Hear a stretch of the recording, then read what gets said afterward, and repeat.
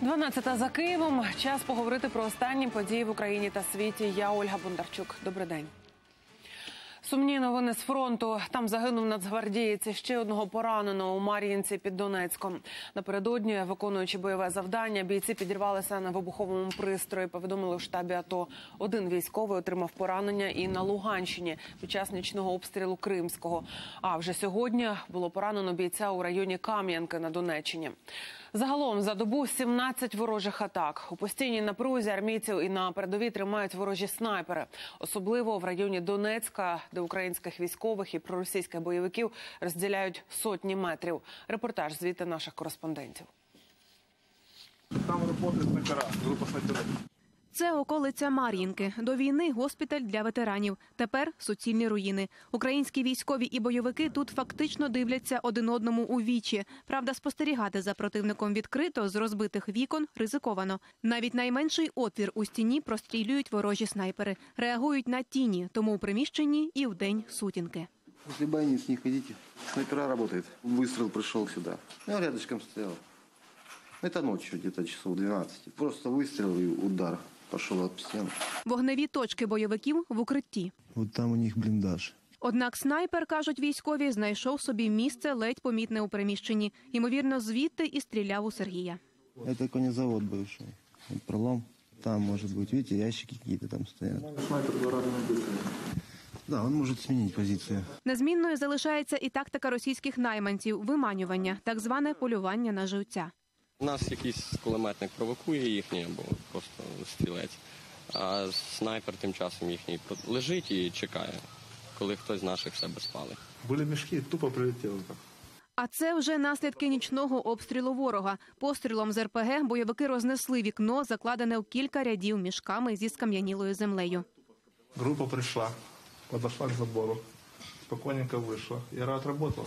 Отработала с РПГ, и потом, получается, они ушли. И пара чердей с ПКМ, и в основном маленькая группа действует.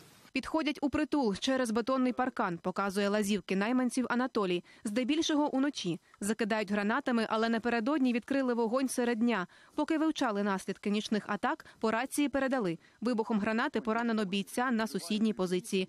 Катерина Сривкова, Ірина Баглай, Євген Малярчук. Новини телеканал Інтер. Донецька область. Один із трьох бійців, поранених вчора у Широкиному, досі у важкому стані. У нього численні осколкові ураження. Стане ще двох задовільний. Напередодні російські наменці відкрили вогонь по позиціях військових з артилерії та мінометів. Обстріл тривав кілька годин. Армійці розповідають, що снаряди влучили в окоп. Добра новина для українських туристів. Україна та Об'єднані Арабські Емірати домовилися про безвізовий режим. Він запрацює вже з грудня цього року. Петро Порошенко і прем'єр-міністр країни, правитель Емірату Дубай Шейх Мухаммед бін Рашид Аль Мактум підписали відповідний меморандум. Нагадаю, українська делегація на чолі з президентом зараз із візитом у країнах Аравійського півострова. Напередодні українці побували в королівстві Саудівська Аравія. Порошенко запросив тамтешні компанії до участі у приватизації в Україні і закликав Рія долучитися до вирішення проблем кримських татар.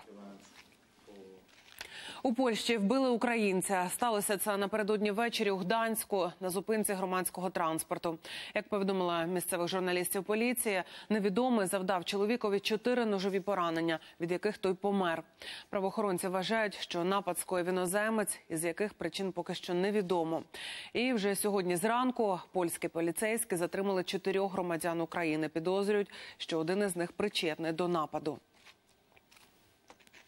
Двох закарпатців контрабандистів зі стріляниною затримала прикордонна поліція Румунії. Повідомляє її прес-служба. Двох чоловіків у костюмах водолазів зупинили за 50 метрів від українсько-румунського кордону.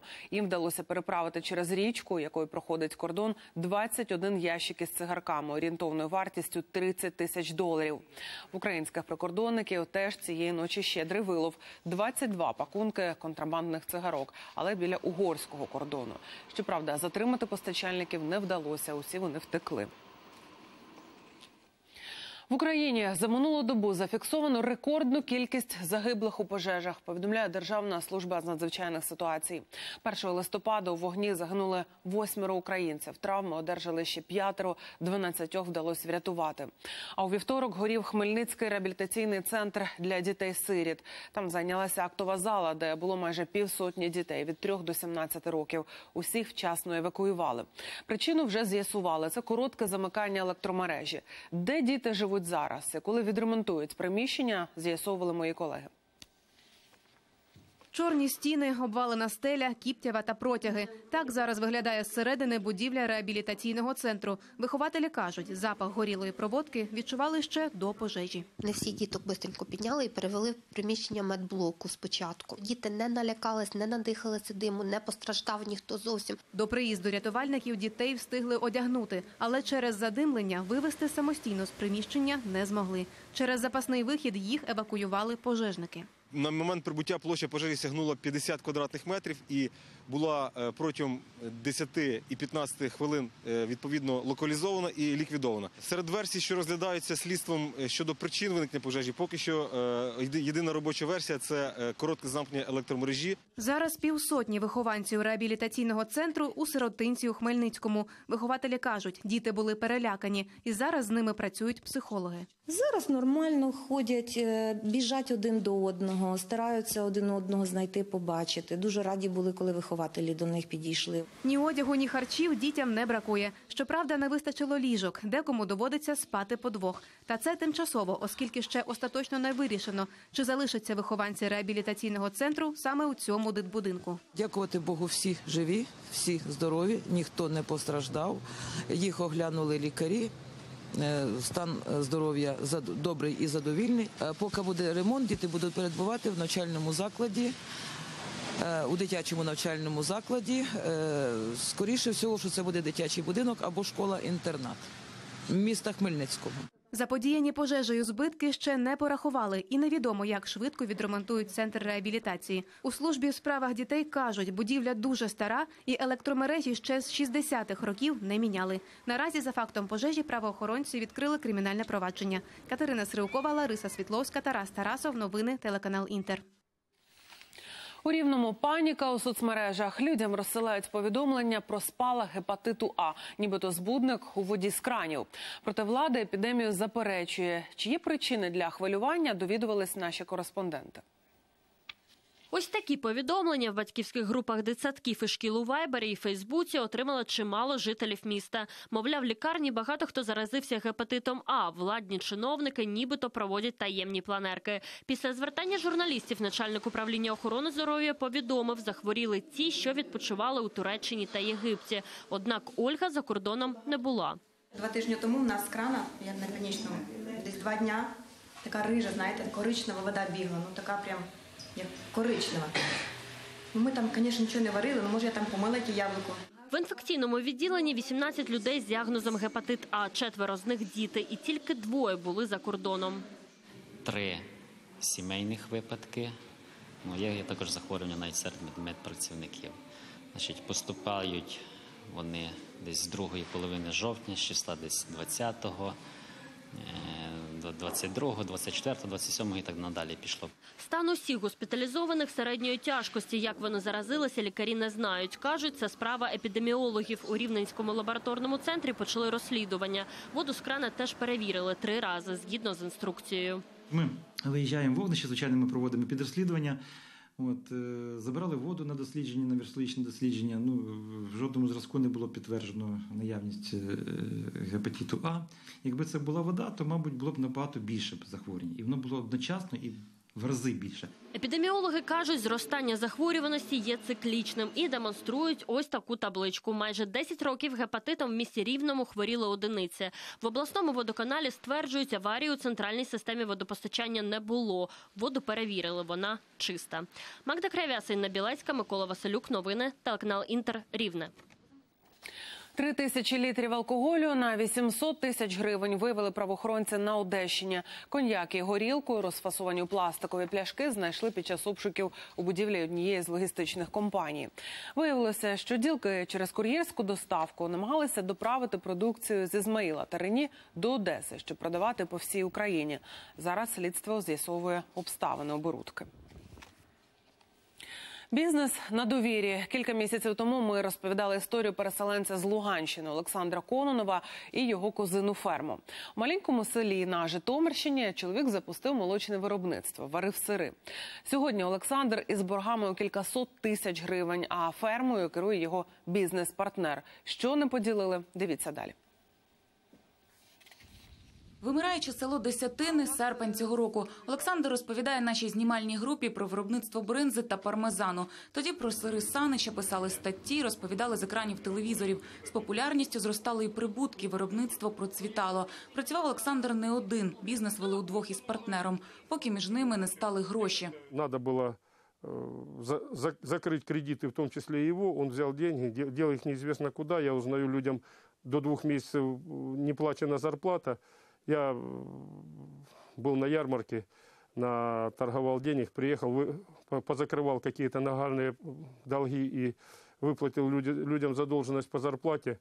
Он приезжает, давай деньги, мне нужно закрыть кредит. Я говорю, подожди, говорю, ты же за прошлую неделю закрывал кредиты. Я не закрыл. Говорю, а куда ты их дел? Ну, и вообще, э, ну, начался там скандал. У результаті Олександру довелося покинути ферму і навіть дім, придбаний за спільні кошти. Кредит на розвиток бізнесу був оформлений на нього як на підприємця. Каже, гроші витратив партнер, а от віддавати їх тепер доведеться йому. 28 октября я должен был делать первую выплату. Там, там должно, ну, должен был платить 19 тысяч гривен почти.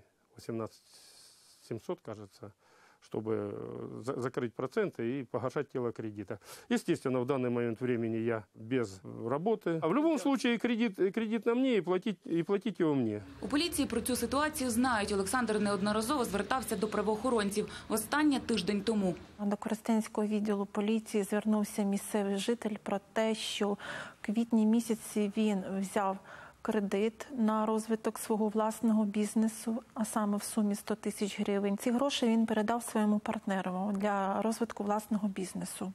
Слідчим відділом було відкрито кримінальне провадження за статтею 190 Кримінального кодексу України. Санкція даної статті передбачає покарання у вигляді позбавлення волі строком до трьох років. Ферма працює у звичайному режимі. Кіз випасають, продукцію виготовляють. Сенсу приходити сюди тепер чоловік не бачить, але все ж переживає, чи все в порядку. Вот Для него, наверное, большего счастья нет, пока вот как я вот приду, и вот так вот это вот. Да, Баксюха? Смысла приходить сюда никакого. Э, Прийти, устроить ска- скандал, устроить э, какие-то разборки, животных забирать. Опять же, забирать некуда и неизвестно как. То есть, э, ну, на эту ферму он имеет ровно столько же прав, сколько, сколько и я. Та чи поділять ці права порівну, невідомо. Бізнес-партнер Олександра коментувати ситуацію відмовився. Колишній переселенець сподівається, все вирішиться справедливо та вже розглядає нові пропозиції щодо сирів Санича. Анастасія Старовойт, Євген Похильчук. Новини телеканал Інтер.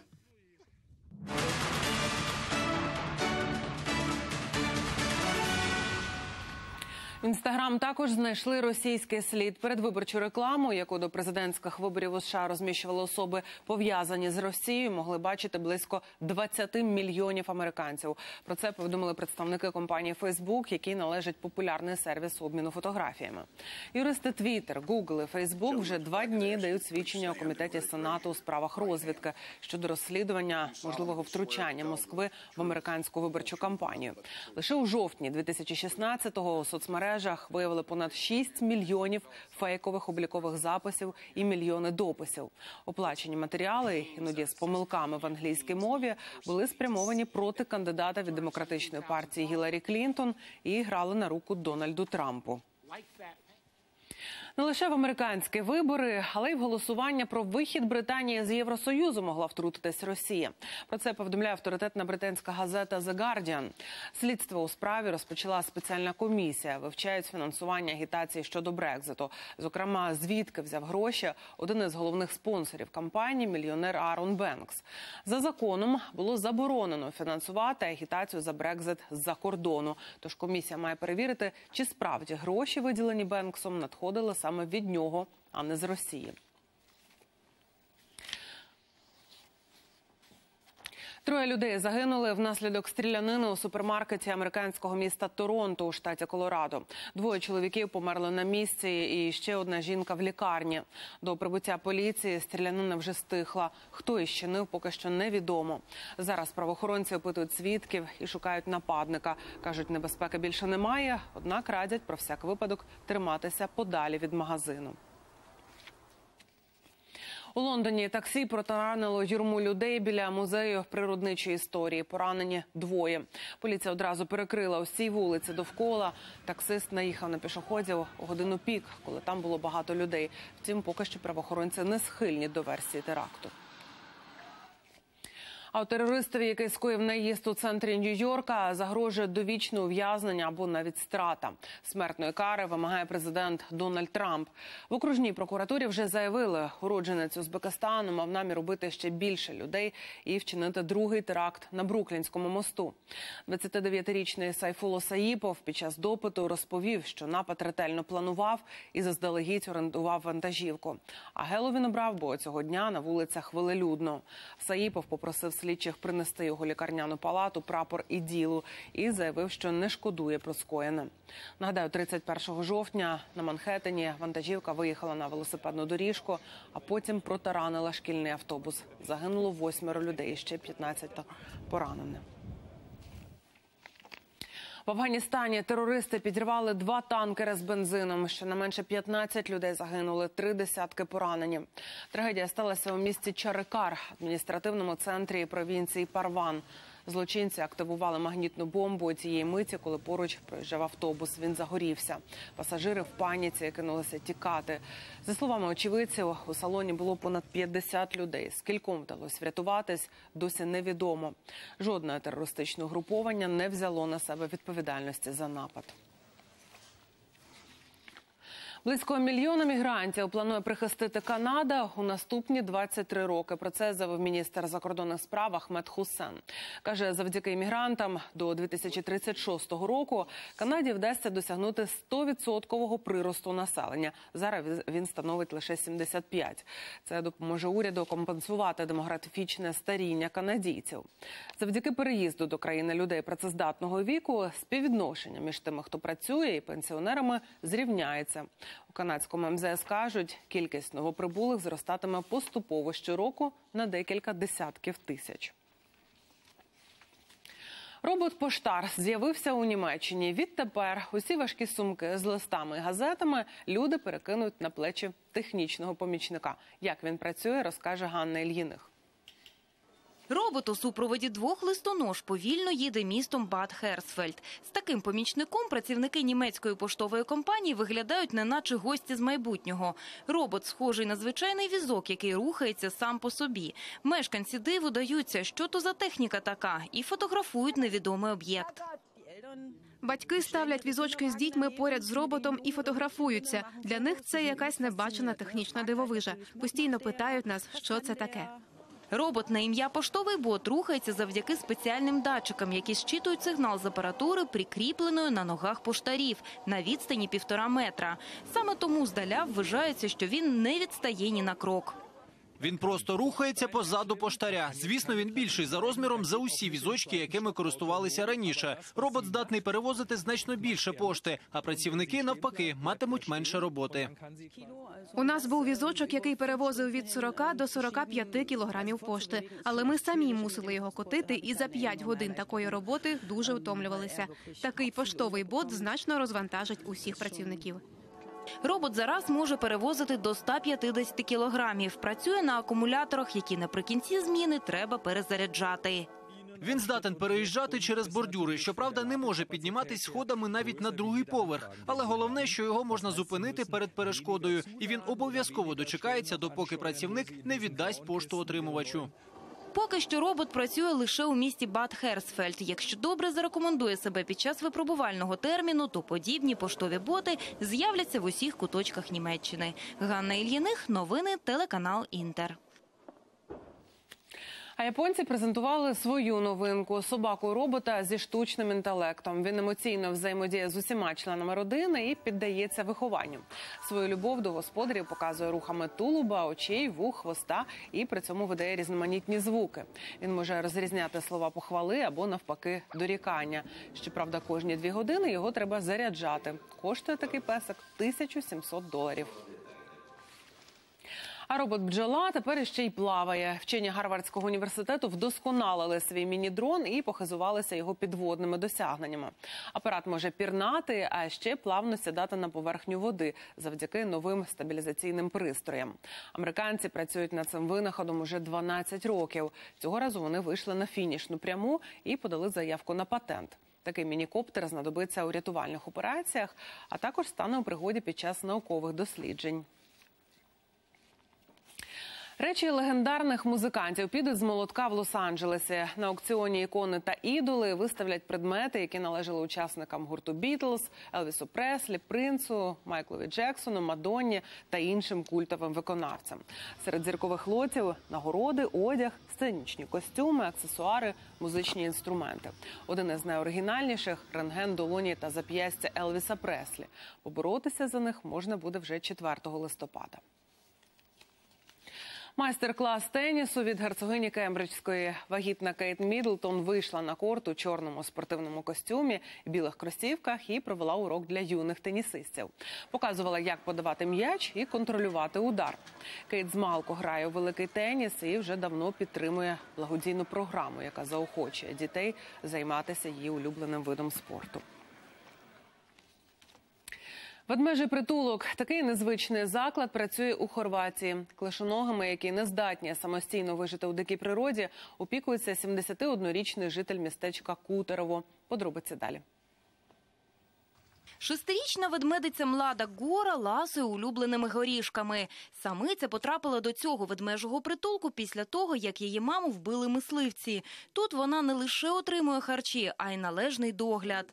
Якщо ведмежата залишаються у дикій природі без матері, вони не здатні вижити самотужки. Коли люди знаходять їх, то не знають, що з ними робити. Ведмежий прихисток працює з 2002 року. Його заснували після того, як хтось із місцевих знайшов дитинча у затопленому гирлі річки. Незабаром кількість клишоногих почала зростати. Усіх стерилізують і розселяють на різні ділянки, залежно від вікової групи. Загалом площа притулку становить 2,5 гектари. Тут мешкають майже тисяча бурих ведмедів. І чи не в кожного своя сумна історія.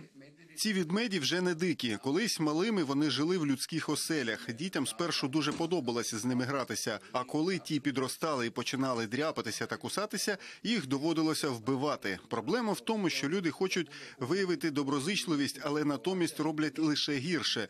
Вони не повинні чіпати те, що належить природі. У середньому бурі ведмеді живуть до 40 років. Проте полювання знижує тривалість їхнього життя до 4-8 років. Також постійно зростає кількість тварин, що гинуть під колесами автомобілів. Тож притулок пана Івана допомагає ще й зберегти популяцію цього виду у Хорватії. Крім того, заклад відкритий для відвідувачів. Щороку сюди приїздить до 20 тисяч гостей. Вхід до ведмежого житла безкоштовний, а утримувати його допомагають благодійники та волонтери. Ганна Ільїних, Марина Балам. Новини телеканал Інтер. Метеорит, якому 200 мільйонів років намагаються розкопати французькі археологи. Вчені твердять, що невелике місто Рошишуар стоїть на так званому зірковому шрамі. Досліджувати кратер, в якому воно вільно розкинулося, зголосилися десятки вчених з різних країн. А французька влада ЄС надали 600 тисяч євро. Проби каміння, які дістають з під землі, ретельно досліджують, щоб нарешті розгадати космічну таємницю. Ну, а ми продовжимо досліджувати інформаційний простір. Усе, що знайдемо, покажемо о 17.40. Вдалого дня і до зустрічі ввечері.